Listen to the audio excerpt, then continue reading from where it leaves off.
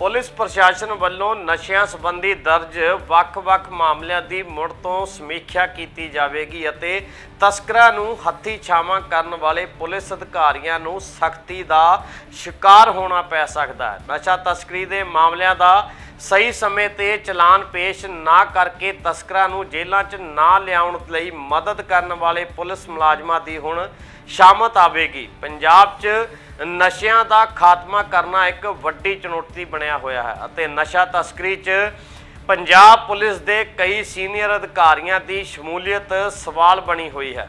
ਕਈ senior police ਅਧਿਕਾਰੀਆਂ ਦੀ ਨਸ਼ਾ ਤਸਕਰਾਂ ਲਈ ਮਿਹਰਬਾਨੀ ਤੋਂ ਬਾਅਦ ਹੁਣ ਸਰਕਾਰ ਵੀ ਨਸ਼ਾ ਤਸਕਰੀ 'ਚ ਜੁੜੇ ਪੁਲਿਸ ਮੁਲਾਜ਼ਮਾਂ ਦੀ ਕੁੰਡਲੀ ਖੋਲਣ ਜਾ ਰਹੀ ਹੈ ਨਸ਼ਾ ਤਸਕਰ ਦੇ ਮਾਮਲਿਆਂ ਦੀ ਸਹੀ ਸਮੇਂ ਤੇ ਚਲਾਨ ਪੇਸ਼ ਨਾ ਕਰਕੇ ਤਸਕਰਾਂ ਨੂੰ ਜੇਲ੍ਹਾਂ ਵਿੱਚ ਨਹੀਂ ਲਿਆਉਣ ਲਈ ਮਦਦ ਕਰਨ ਵਾਲੇ ਪੁਲਿਸ ਮੁਲਾਜ਼ਮਾਂ ਦੀ ਹੁਣ ਸ਼ਾਮਤ ਆਵੇਗੀ। ਪੁਲਿਸ ਪ੍ਰਸ਼ਾਸਨ ਵੱਲੋਂ ਨਸ਼ਿਆਂ ਸੰਬੰਧੀ ਦਰਜ ਵੱਖ-ਵੱਖ ਮਾਮਲਿਆਂ ਦੀ ਮੁੜ ਤੋਂ ਸਮੀਖਿਆ ਕੀਤੀ ਜਾਵੇਗੀ ਅਤੇ ਤਸਕਰਾਂ ਨੂੰ ਹੱਥੀਂ ਛਾਵਾਂ ਕਰਨ ਵਾਲੇ ਪੁਲਿਸ ਅਧਿਕਾਰੀਆਂ ਨੂੰ ਸਖਤੀ ਦਾ ਸ਼ਿਕਾਰ ਹੋਣਾ ਪੈ ਸਕਦਾ ਹੈ। ਪਰ ਨਸ਼ਾ ਤਸਕਰਾਂ ਨੂੰ ਪੰਜਾਬ ਵਿੱਚ ਤਬਾਹੀ ਮਚਾਉਣ ਦੀ ਜੋ ਆਜ਼ਾਦੀ ਮਿਲੀ ਉਹ ਵੀ ਪੁਲਿਸ ਦੀ ਢਿੱਲ ਅਤੇ ਮਿਲੀ ਭੁਗਤ ਦਾ ਨਤੀਜਾ ਹੈ। ਕਈ ਵਾਰ ਜਾਂਚ ਦੇ ਘੇਰੇ ਵਿੱਚ ਆਈਆਂ ਨਸ਼ਾ ਤਸਕਰੀ ਦੀਆਂ ਰਿਪੋਰਟਾਂ ਪੁਲਿਸ ਦੀ ਆਪਣੀ ਅਣਗਹਿਲੀ ਕਾਰਨ ਠੰਡੇ ਬਸਤੇ ਵਿੱਚ ਪੈ ਗਈਆਂ। ਪੰਜਾਬ ਵਿੱਚੋਂ ਨਸ਼ੇ ਦਾ ਖਾਤਮਾ ਕਰਨ ਲਈ ਕਈ ਮੁਹਿੰਮਾਂ ਵਿੱਢੀਆਂ ਗਈਆਂ।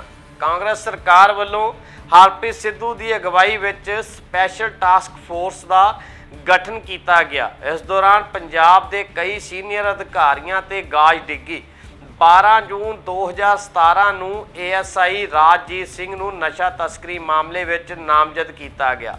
ਫਿਰੋਜ਼ਪੁਰ ਰੇਂਜ ਦੇ ਡੀਆਈਜੀ ਇੰਦਰਬੀਰ ਸਿੰਘ ਅਤੇ ਓਆਰਪੀ ਇੰਸਪੈਕਟਰ ਇੰਦਰਜੀਤ ਸਿੰਘ ਨਸ਼ਾ ਤਸਕਰਾਂ ਨਾਲ ਸਬੰਧਾਂ ਦੇ ਚਲਦਿਆਂ ਜਾਂਚ ਦੇ ਦਾਇਰੇ ਵਿੱਚ ਹਨ। ਸਾਲ 2018 ਵਿੱਚ ਸਾਬਕਾ ਡੀਐਸਪੀ ਹਰਕੀਰਤ ਸਿੰਘ ਨੂੰ 15 ਕਿਲੋਗ੍ਰਾਮ ਮਫੀਮ ਨਾਲ ਫੜਿਆ ਗਿਆ। ਇੰਨਾ ਹੀ ਨਹੀਂ, ਪੰਜਾਬ ਦੇ ਸਾਬਕਾ ਡੀਜੀਪੀ ਸ਼ਸ਼ੀ ਕਾਂਤ ਦਾ ਦਾਵਾ ਤਾਂ ਇਹ ਵੀ ਹੈ ਕਿ ਪੰਜਾਬ ਦੀ ਸਿਆਸਤ ਦੀ- ਦਾ ਵੀ ਨਸ਼ਿਆਂ ਨਾਲ ਗੂੜਾ ਨਾਤਾ ਹੈ।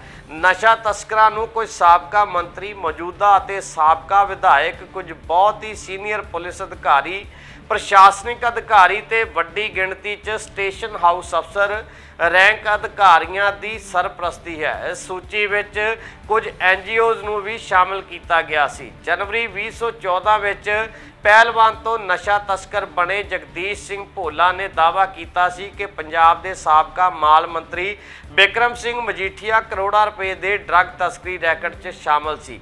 ਇਸ ਮਾਮਲੇ ਦੀ ਅਗਲੀ ਜਾਂਚ ਤੋਂ ਬਾਅਦ ਕੁਝ ਵੀ ਠੋਸ ਸਾਹਮਣੇ ਨਹੀਂ ਆਇਆ।